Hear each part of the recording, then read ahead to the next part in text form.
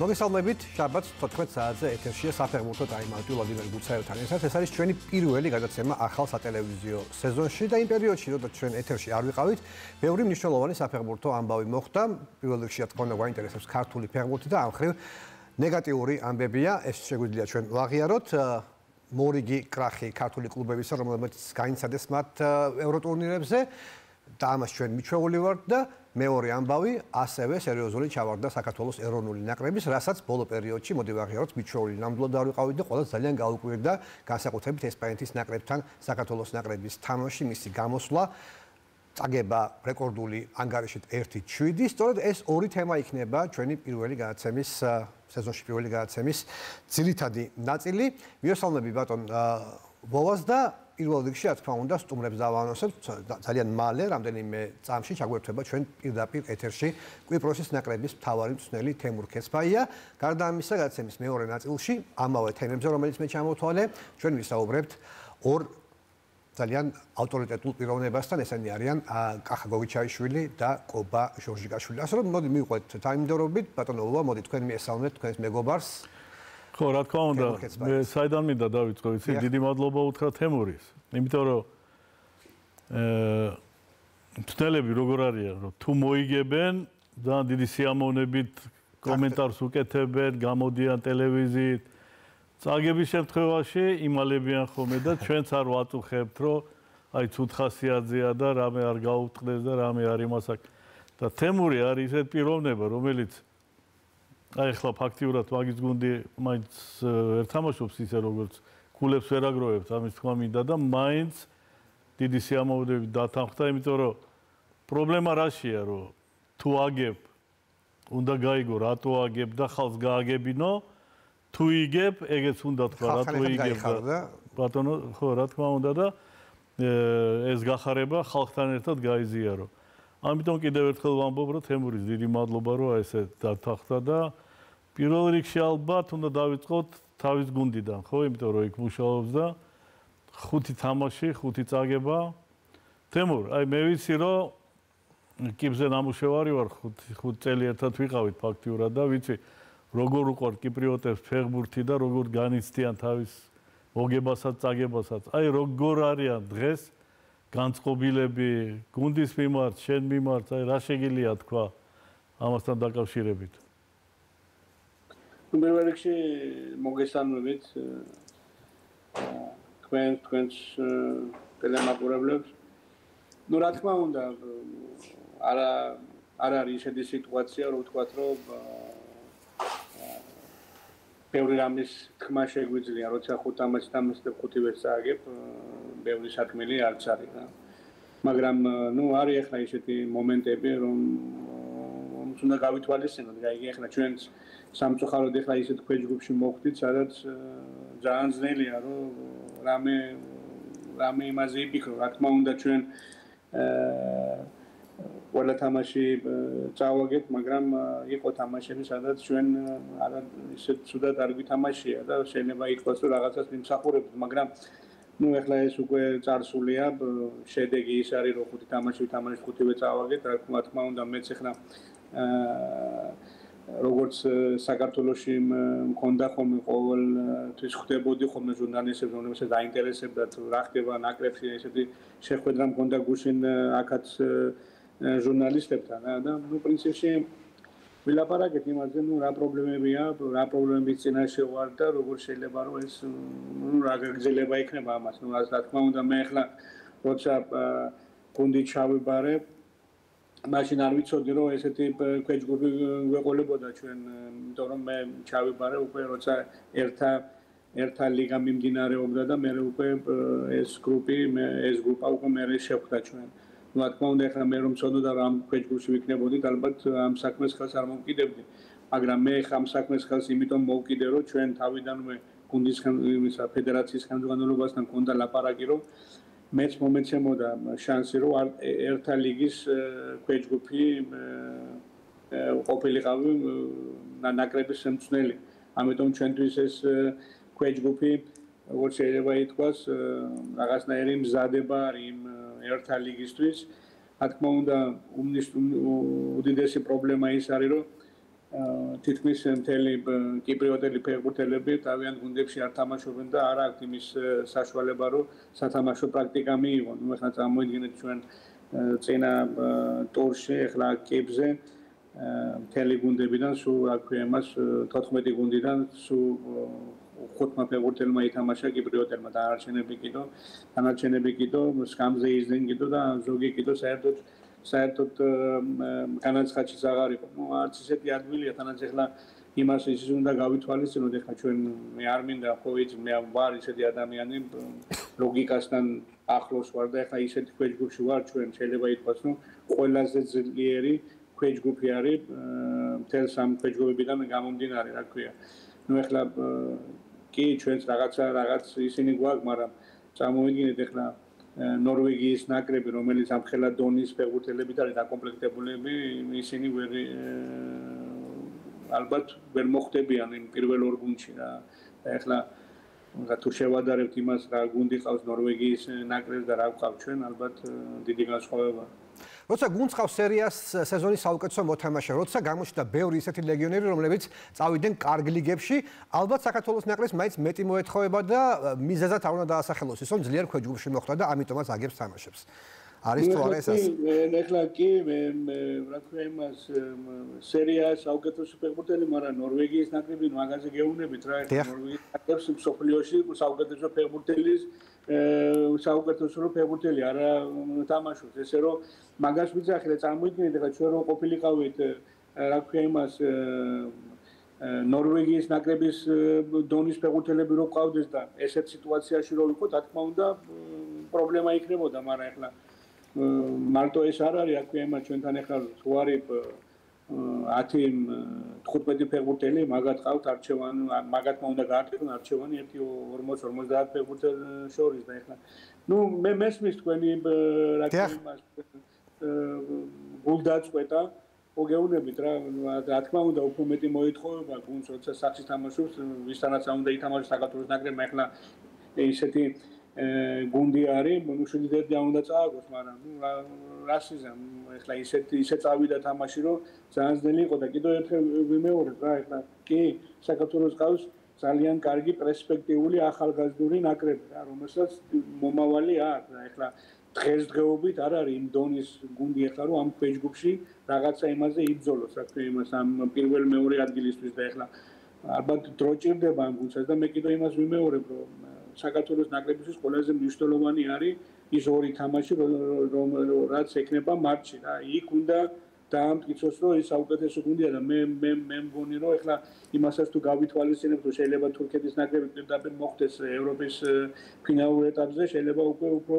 სხვა უფრო თურქეთზე უფრო სუსტი გუნდი მოხვდეს ამ ნახევარფინალში. ესე რომ ესე რომ თლად ისეთი სული სიტუაცია არ არის ახლა საქართველოს ნაკრებში რაც რასაც მე უყურებ ამ მედიიდან და ამ კიდო ამ იმ გამოხმაურება რასაც რაც აქვს საქართველოს ნაკრებში. თუმცა ასეთი თამაშით მე მგონი გაიცა თუ ყაზახეთი ვერ გავიდა პირდაპირ ევროპის ჩემპიონატზე, ყაზახეთის ნაკრების გავლაც გაგვიჭირდება. მე გაგახსენებთ რომ საქართველოს ნაკრებმა თქვენთან ითამაშა თქვენს წინააღმდეგ კვიპროსში და მანდამაის დამაჯერებელი შტაბის ჭრილება არ დაუტოვებია და შეიძლება გამარჯვებასაც არ იმსახურებდა.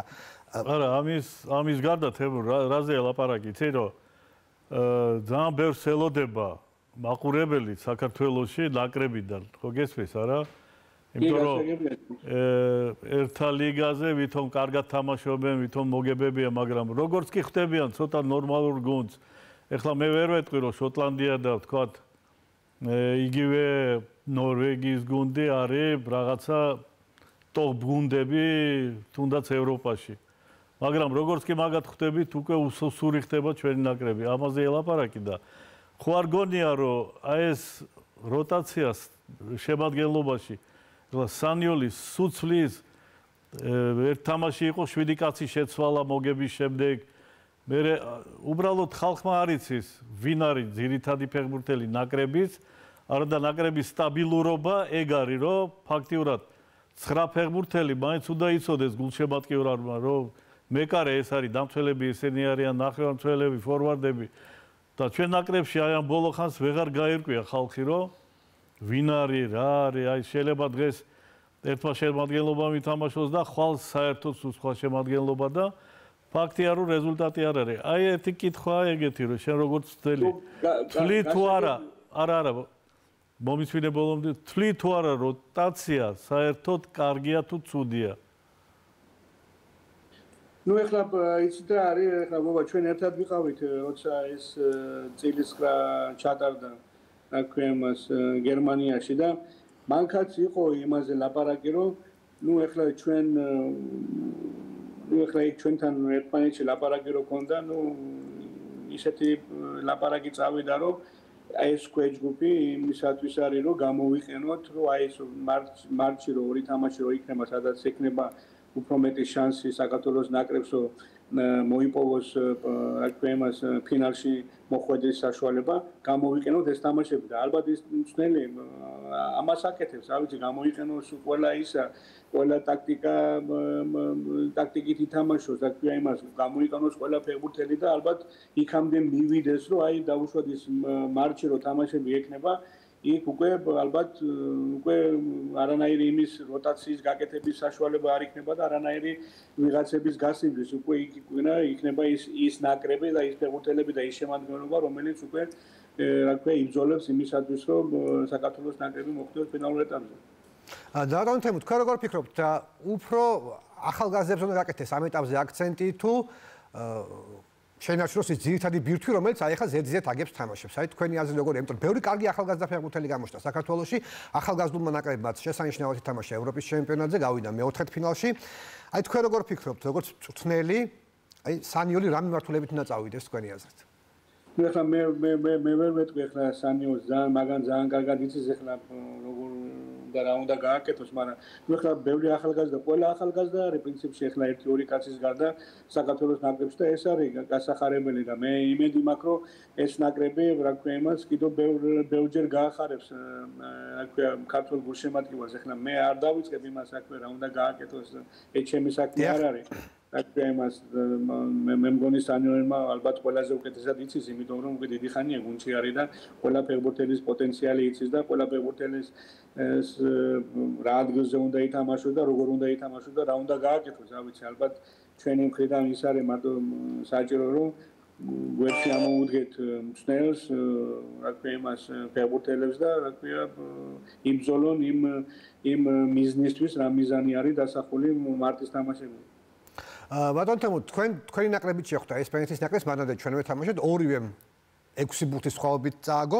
აი ასე ძალიან გარმითარდა ესპანეთის ნაკრები, აი ახალი მწვრთნელის ხელმძღვანელობით თუ უბრალოდ მათ უბრალოდ ყველაფერი გამოზრდა და ეს არ იყო არც საქართველოს დღე და არც კვიპროსის დღე. ძალიან დიდი სხვაობა იყო თამაში, არა და ესპანეთის ნაკრებს ხშირად შეხვედრივარ და თითქმის ყველა მატჩი მათ სერიოზული ბრძოლა უწევდათ იმისთვის, რომ ჩვენ დავემარცხებინეთ. ამჟამად კი სულ სხვანაირად მოხდა ყველაფერი. აი რა იყო ამის მიზეზი თქვენი აზრით? იცით რა, ეხლა მე რავი ბედნიერება იყო თუ ბედურება იყო ჩემი რა ქვია იმას, მე იმ ნაკრებთანაც მომიწია თამაში, რომელიც ალბათ შეიძლება ითქვას სოფლიო ფეხბურთის ახსოვს ყველას. სოფლიო ფეხბურთის ყველაზე დიდი ყველაზე საუკეთესო ნაკრები შეიძლება ესე ითქვას.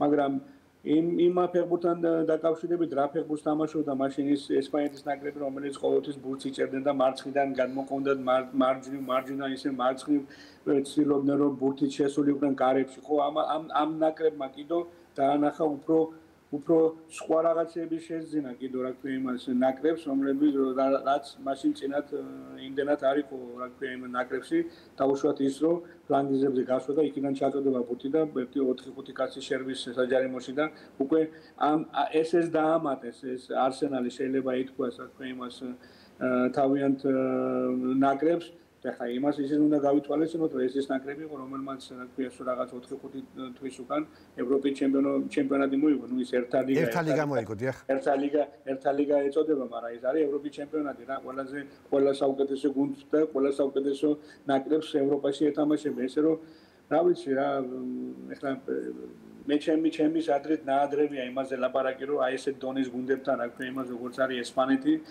ესპანეთი იმაზე ლაპარაკი რომ აი ჩვენ სადაც უნდა ვეთამაშოთ, უნდა წავიდეთ, უნდა მოვიგოთ. რა თქმა უნდა, ესე არ უნდა წავაგოთ, როგორც მე იგივე ჩემმა ნაკრებმა, იგივე საქართველოს ნაკრებმა წააგო, მაგრამ იმაზე ლაპარაკი რომ ჩვენ ახლა მზათა ვართ იმისათვის რომ ესპანეთის ნაკრებს მოუგონდა აქ ვიბრძოლოთ ამ ქვეჯგრუპში ვიბრძოლოთ იმაზე რომ გავიდეთ მე მგონი ეს ჯერ კიდევ ნაადრევია.